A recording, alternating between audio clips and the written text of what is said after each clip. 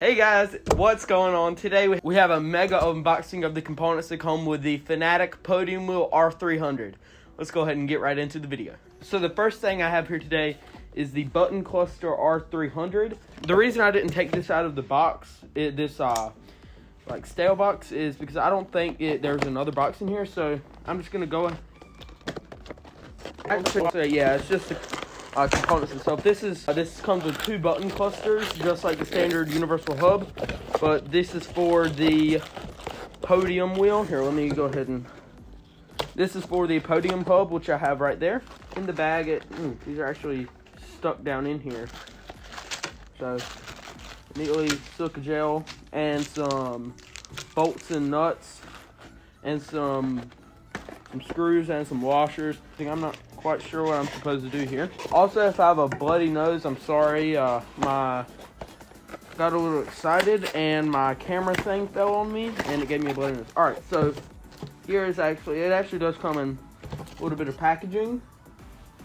Yep, that's what it looks like. It says Fanatec and Club Sport. These are actually Club Sport button clusters. I don't think they make Podium.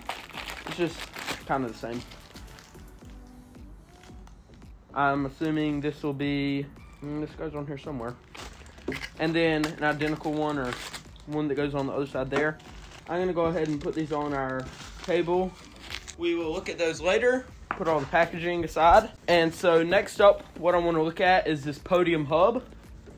This actually comes in a nice black box that says Fanatec, and of course it has the, the classic Lotus paint scheme going on, uh, which is for the podium branding go ahead. It has some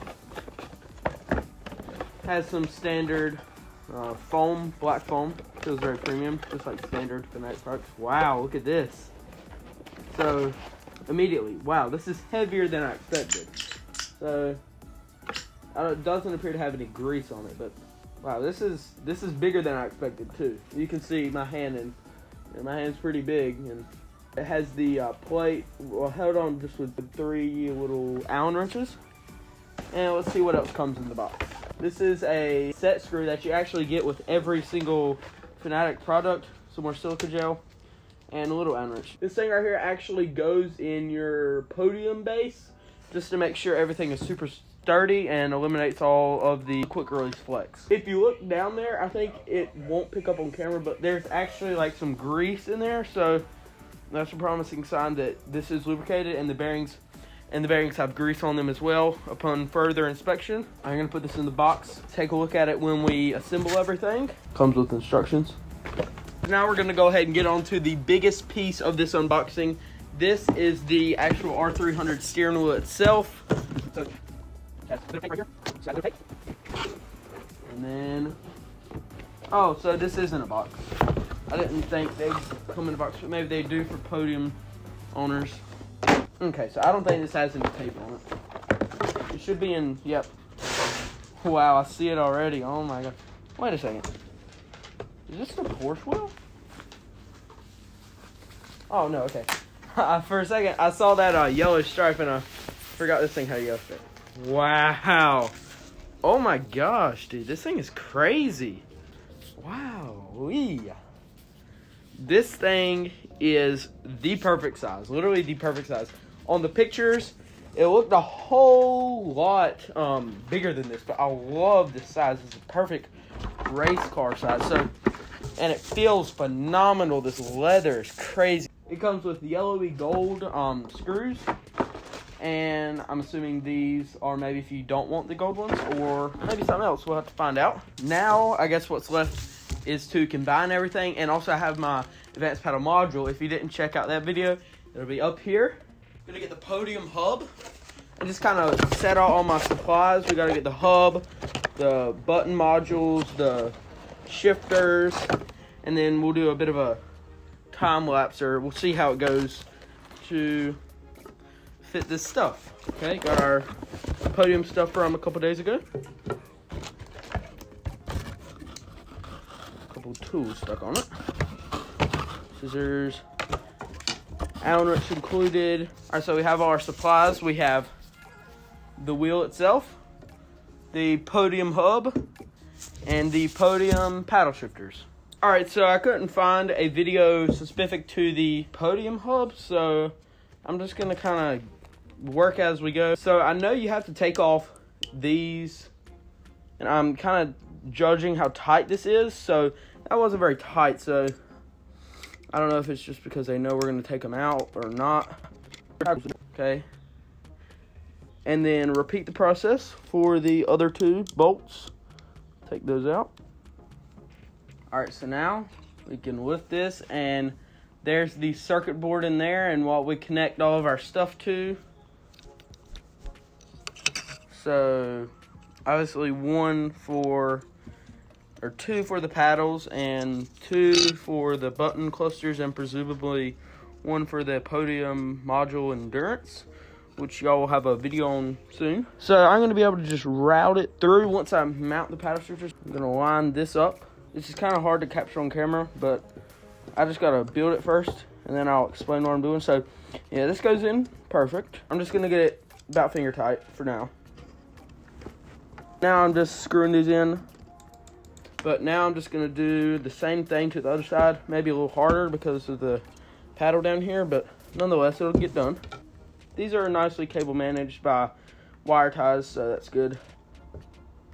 All right, so now we have both paddles snug. We're just going to connect the uh, individual wires now. All right, so let me show you what we're about to do. So these corresponding sides are gonna go into these right here and should be simple as ever. But like a lot of things, they're not as simple as they may come across. There is a slight offset of the pins and the connector to show you which way to plug it in. So take note of that. All right, I heard a I heard a very very faint snap. So that means they should be locked in, ready to go. So I'm just gonna do the other to the other side. So if you're visually impaired, the little raised piece needs to go to the paddle shifter. The two positive clicks, let me just show you how everything is in here. This is how it is right now, and for the meantime, I'm gonna figure out a way how to kind of, well, we'll do that once we get this all situated. Now we have to mount the button cluster mod. Whoa.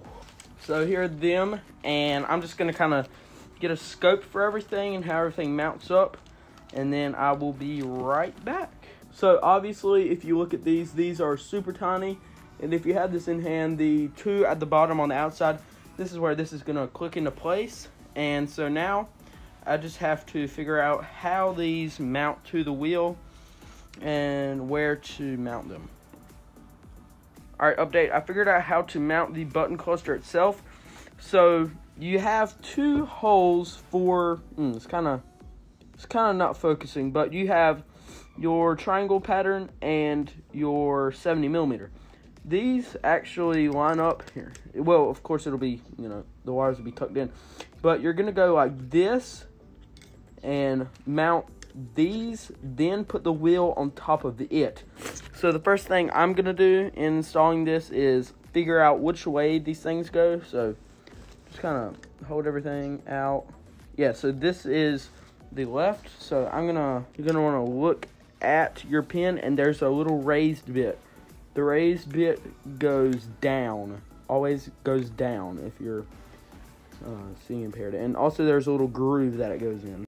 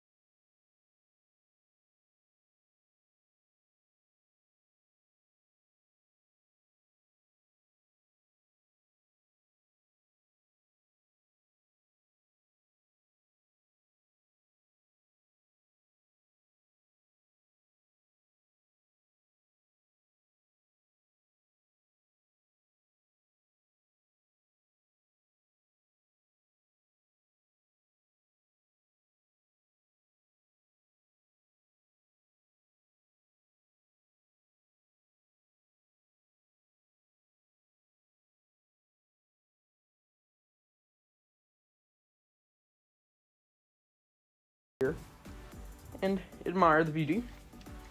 Now you want to get, here, let me set you guys down. Open up your bag of um, mounting bolts for your wheel. Beautiful. In this case, we're using the six hole pattern. So you're going to want to line it up, but we're actually just kind of get these in position to be lined up. And I think it's going to be hard to capture on camera, which is, so just go ahead and get that up there. You know, everything on this wheel is magnet except this.